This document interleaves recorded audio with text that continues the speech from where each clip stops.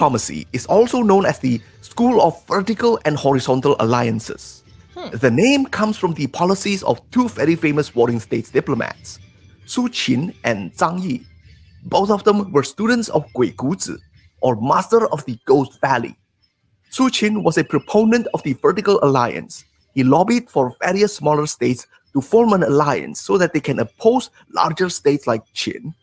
Zhang Yi, on the other hand, is the proponent of the Horizontal Alliance.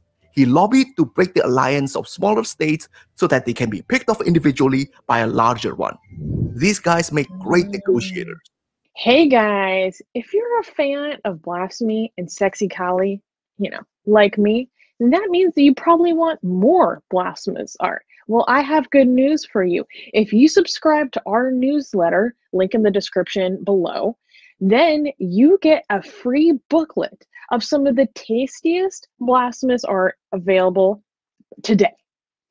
So, if you want some of this delicious blasphemy, and we're so generous that we update it for you guys weekly for free, all you have to do is sign up for our newsletter below. Uh, you can also go to blasphemousart.com slash ebook. That's blasphemousart.com slash ebook.